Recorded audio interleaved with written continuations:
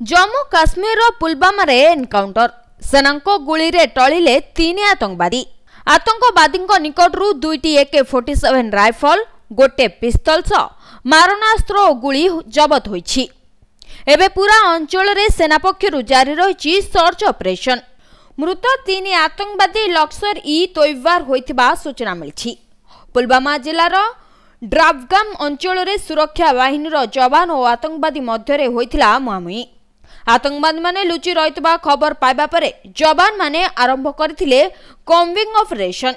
ଏହାପରେ ପରସ୍ପର ମଧ୍ୟରେ ହୋଇଥିଲା ଗୁଳି ବିନିମୟ। ଫଳରେ ସୁରକ୍ଷା କର୍ମୀଙ୍କ ଗୁଳିରେ ତିନି ଜଣ ଆତଙ୍କବାଦୀ ନିହତ ହୋଇଥିବା ସୂଚନା ମିଳିଛି। ବ୍ୟୁରୋ ରିପୋର୍ଟ ସମୟ ଲାଇଭ୍।